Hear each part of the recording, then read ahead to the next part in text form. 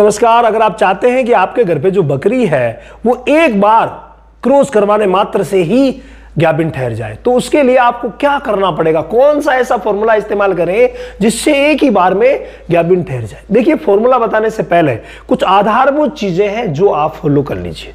Number one चीज़ है, वो है कि जो भी बच्ची आपके यहाँ पैदा हुई है उसका बाप कौन है, उसकी माँ कौन है, ये पूरा आप ध्यान रखेंगे तो उसी के हिसाब से वो आगे जाके परफॉर्मेंस देगी, आपको पता है।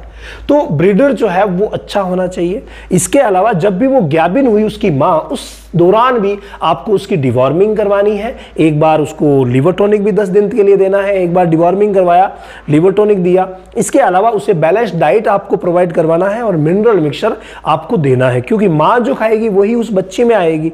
अब जो बच्ची तैयार हुई है, उस बच्ची को आप जन्मते ही खींच पिलाइए, ये बहुत अच्छा रहता है। उसके बाद उसकी जो डाइट मैंने आपको बता रखी है किड्स के हिसाब से, जो हम किड्स स्टार्टर देते हैं, उसके हिसाब से दे करके आप उसको अच्छा अच्छी तरीके से डाइट दीजिए। डिवॉर्मिंग आप उसकी समय पर करवाइए, जो शेड्यूल बताया गया है। जब वो बड़ी हो गई है तो हर तीन महीने से उसकी डिवॉर्मिंग भी बदल बदल करके सॉल्ट से करवानी है और मिनरल मिक्सचर भी उसको बैलेंस्ड डाइट में, जो किड्स स्टार्टर है, उसमें मिला करके देना है। उसके बाद ग्रोवर फ़ीड जो आता है ग्रोथ करने वाला, वो आपको दिलाना है। मैंने अलग अलग फ़ीड सारे आपको बता रखे अब अपना फॉर्मूला क्या है?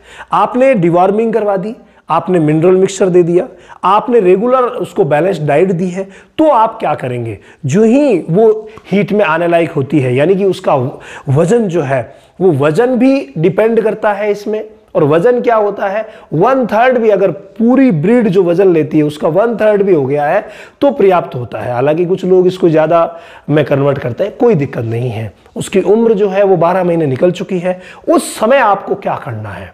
उस समय 10-12 महीने निकलते ही आपकी चिंताएँ जो है वो वहाँ आ जानी चाहिए। और आपको देना क्या है? जो फॉर्मूला हमने इस्तेमाल किया और बेटर रिज़ल्ट पाया, उसी को मैं आपको बताऊँगा। और वो फॉर्मूला है फ्रेंड ये तीन चीज़ें ऐसी है जो उसे आप खिलाना शुरू कर दीजिए। बस, तीन चीज़ें। हल्दी है। हल्दी कितना देना है? हल्दी के गंटिया लेके आ जाइए, पीस लीजिए और मात्र उसे 10 ग्राम रोज हल्दी चालू कर दीजिए।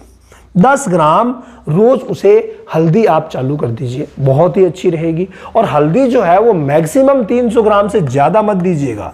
किसी भी बकरी को 300 ग्राम से ज़्यादा हल्दी नहीं देनी है। ऐसा नहीं कि आप देते दे, देते रहे देते रहे ऐसा नहीं है। हालाँकि 10 ग्राम रोज़ दोगे ना तो 300 ग्राम तो होगी नहीं। बहुत उसमें समय लगेगा। इसके बाद काम हो जाएगा। तो 10 ग्राम रोज 300 ग्राम से ज़्यादा मत दीजिएगा।